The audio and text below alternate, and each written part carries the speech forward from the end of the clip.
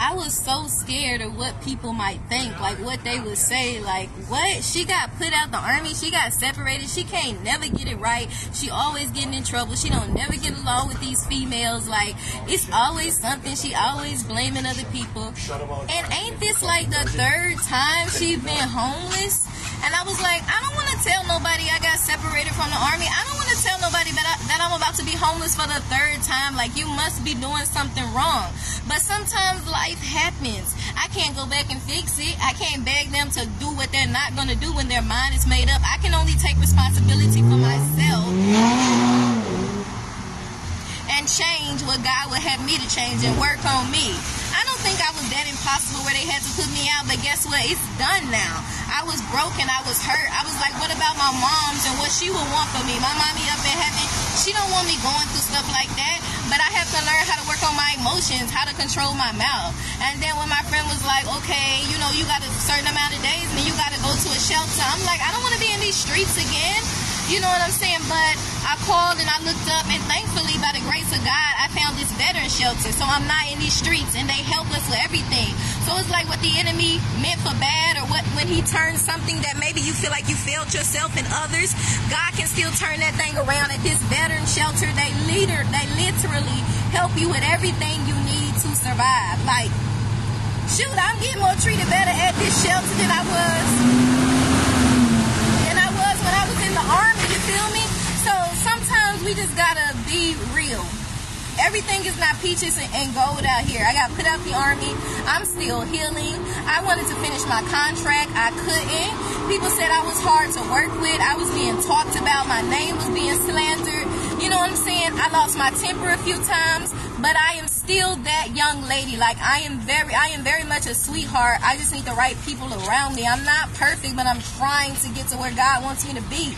And some things things don't go our way. Sometimes we mess it up for ourselves, or like maybe it's not God's will, or whatever happens, it happened. And God was trying to help me, but I'm here. I'm just grateful to God that I don't have to be on the streets. I told the Lord, like, Lord, please just make a way that I'm not sleeping outside. Because I did that. I was homeless before when I had to sleep outside. I had to go to certain apartments and sleep literally in the stairwell of apartments. Slept in a Walmart bathroom. Slept on the side of the of the of the of the grocery store, the hospital, in between the atrium, in between the bushes running from the cops because they thought I was a danger to somebody. So I was like, Lord, I just don't want to be homeless. And then I looked it up and God sent me this veteran shelter. And up here in Massachusetts, they do more for veterans than any other state. So it turned out to be a blessing. Oh, look at him. Look at him. He's so pretty. So yeah, I'm learning. I'm healing. Um, y'all just keep me in your prayers. But I feel like sometimes we have to be honest and we have to be transparent. So if anybody out there that's on my little, I know I'm a small YouTuber, but if y'all are going through homelessness, maybe you just broke up with a significant other or whatever, you know, God wants us to be married, but whatever case you're in, God wants to draw you closer to Him so that you can get in His will. Know that you don't have to depend on nobody like you need to depend on Jesus. Can't nobody do for you what Jesus can do. So trust in the Lord and lean not into your own understanding and know that He'll never put more on us than we can bear. And even when we're in sin, when we're in situations and people leave us, our boyfriend and girlfriend, God will use that to bring you closer to Him. He wants you in His will anyway. He don't want you sinning, shacking, hurting, suicidal because your boyfriend or girlfriend left you. Like, make God your all. Don't make your family, your job, your kids first. Put God first and trust Him during the process and grow and let Him work on you because that's what I learned to do. And I also learned that it's okay to be transparent. I am where I am. I'm homeless right now but I'm at a shelter where it's like it's a it's a um a home instead of like a shelter, and they treat us good because we're veterans. And it's like, dang, like I said, they treat me better here than when I was in the army. Because when I was in the army, it was like, they go Bradley.